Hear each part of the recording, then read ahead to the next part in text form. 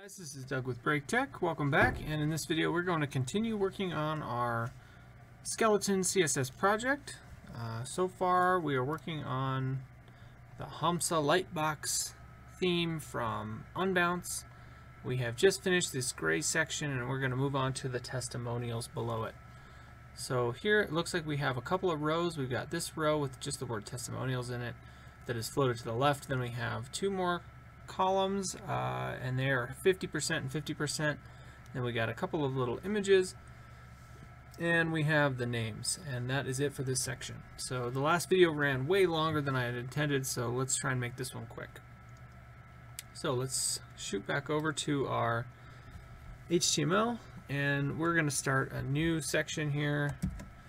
I'm going to create a new comment and in this section we're going to have testimonials.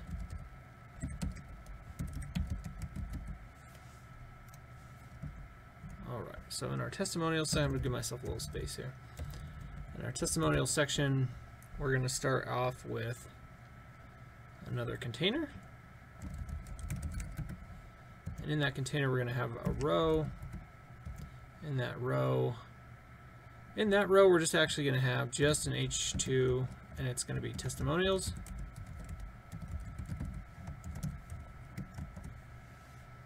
Below that, we're going to have another row.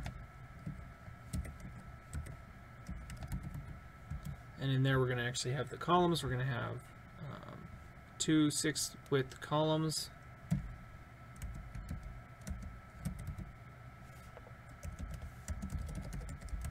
And in this one, I, am again just going to do one and then copy another copy of it below to add the second. So inside of this, we have, I think it was uh, some lorem in a paragraph tag.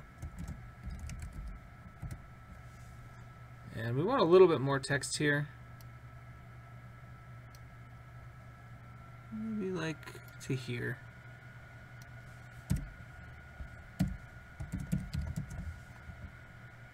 So there's some text. Below the text we had an image.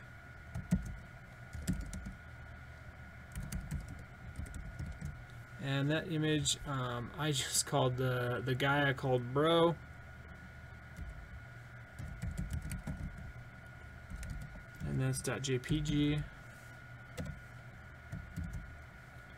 And then after the image we had just the name of the guy. So that can be like, uh, we make that like an H3 or an H4. Make it an H4. And we'll call him, I don't think it matters, but what did our site call him? Michael Ruffle. So we'll just stick with the same name. And it's all caps, which is fine. Alright, so let's save that and just look at how it looks. Reload, our live reload is reloading, hopefully. Trying to establish a secure, secure connection. I left this open and it may not work. I may have to open a new one. Alright, so it did work. Um, so it looks like we forgot to close off the services section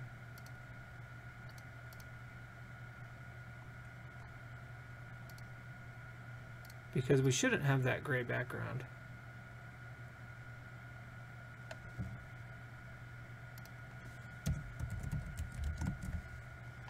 So let's go ahead and try and do that.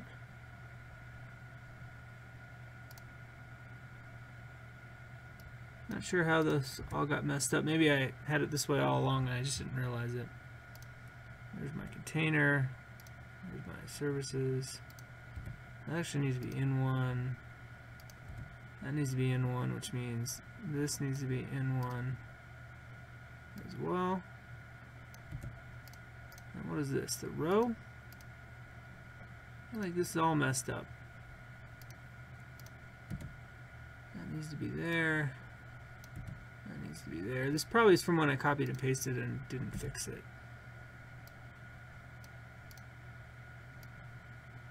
So we'll just fix our tabs here and we should be good to go. All right, I think that looks good. Let's save that. So our services section should be complete. So we should now have just a white background, and we do. So we're gonna have to add some padding and some styling to the images. If you look back at our source photo, Uh, you can see we have a round picture, and in that round picture, that round picture has, it looks like just a maybe a two pixel border. So let's go ahead and add a class to that so that we can style those. And that class we'll call like profile since we'll have two of these. And we'll just, for the sake of accessibility, we'll add an alt tag and we'll just call this bro, oh, I guess call it, let's call it profile picture. Alright, so if we jump over into our styles, we can go to the dot .profile class.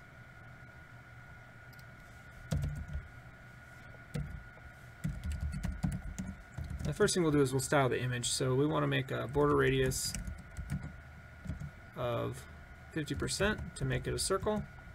And we want a border of 2 pixels solid, and we want that yellow color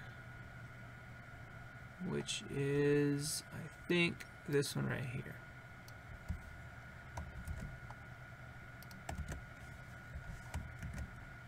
And let's go ahead and see what that looks like. Alright, that's pretty close. I think maybe the border should be just a little wider. Let's go like 3 pixels. I know that's not, it's kind of nitpicky, but I want to look pretty close. I think that looks pretty good. And then his name is is beneath. I think probably we want to center those images as well inside the container. Let's see what an auto margin does for us.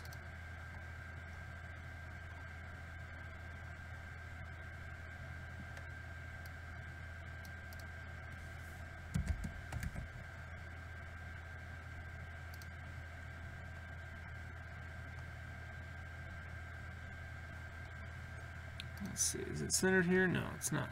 It's to the left.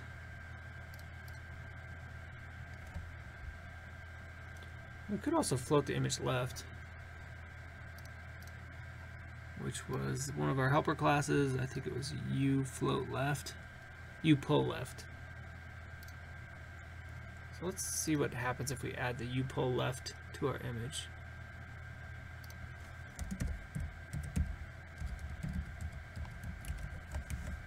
Which is, I know I was thinking about centering, but this is closer to what our source is supposed to have. So that's okay. But now we want to center the text vertically, which we could do a couple of different ways. Um, probably the easiest way would just be to add, just inspecting the name here would be just to add, I think we want to add a little bit of uh, margin around this name and maybe a little padding to, to sort it out. So let's put a class on the H4 as well. And we'll call it name. So come back here and say dot name. And we'll like give it like 15 pixels of margin all around and see how that looks.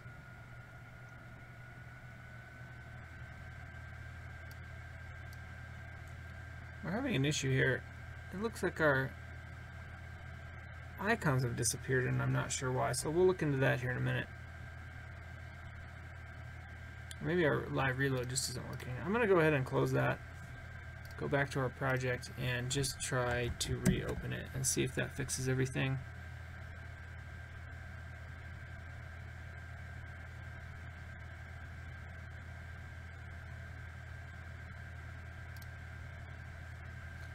Could certainly be an issue with my internet connection. I'm on a, a wireless connection and it's not great. Um, since we pulled from the CDN, the only thing missing right now is the images that we're grabbing from the web. So I think that's probably what the issue is. So as expected, I went ahead and opened up, oops, let me pull that back up. I went ahead and opened up and inspected the page in Chrome and I do have one error. I have failed to load the resource from the Bootstrap CDN. I'm not sure why it was working before and it's not now, um, but it has something to do with my wireless, I'm pretty sure. So unless you lose access to the internet, those icons should be there. The way we could fix that is to simply download from Font Awesome's website, the Font Awesome CSS files, uh, or the font, and we could have imported those manually um, using uh, using the style um, I'm sorry, using the, the link HTML tag at the top, and that would have fixed this problem. However, uh, since this is only a problem when I'm on wireless and otherwise works, or if it were live on a web server, it would work, um, I'm not going to do anything about changing that at this point. Uh, so you should see your icons there as long as you have internet access, or it could be, a, it could even be a problem with the CDN right now, although generally there's not a problem with the CDN because uh, it'll serve from a different server if, if there's a problem. But there you have it.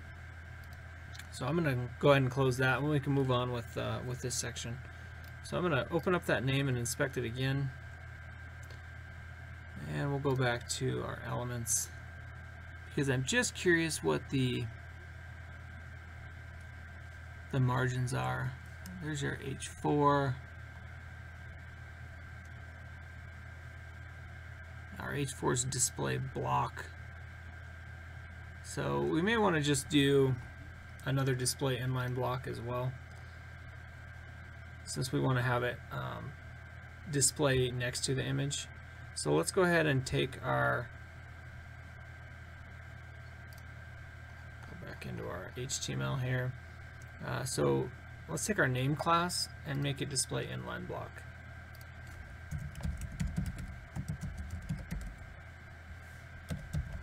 See if that fixes it for us. Alright, so now we have our margins there. And we can put a little padding on top to kind of center it a little better.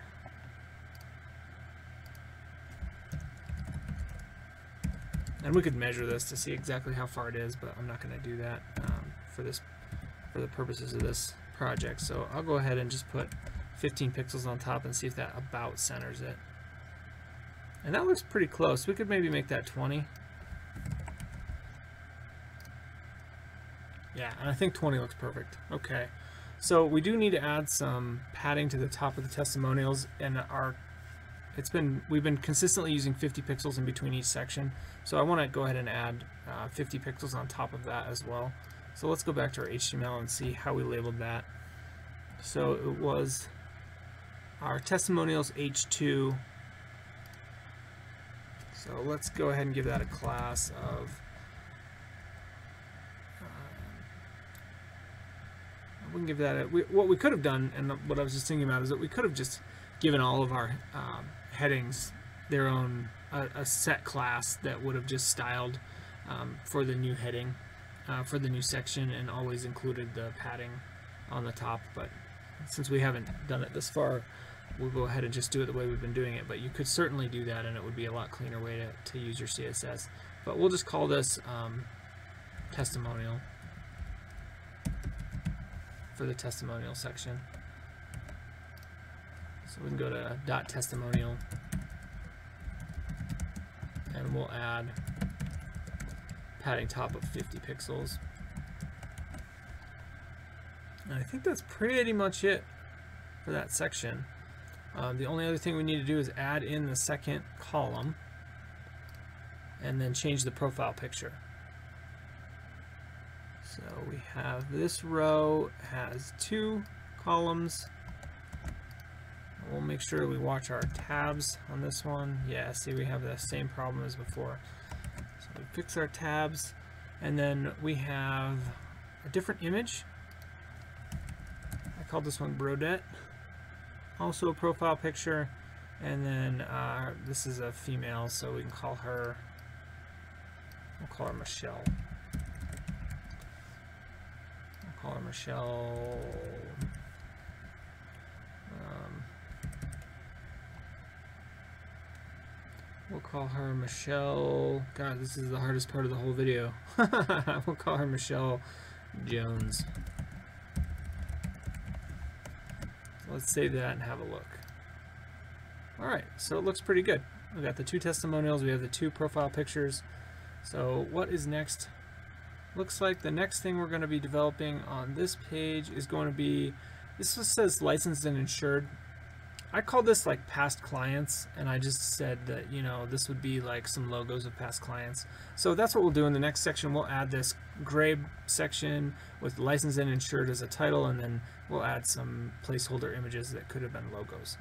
Alright I'll see you in the next video. If you enjoyed this video please click like and subscribe. My name is Doug and this has been BreakTech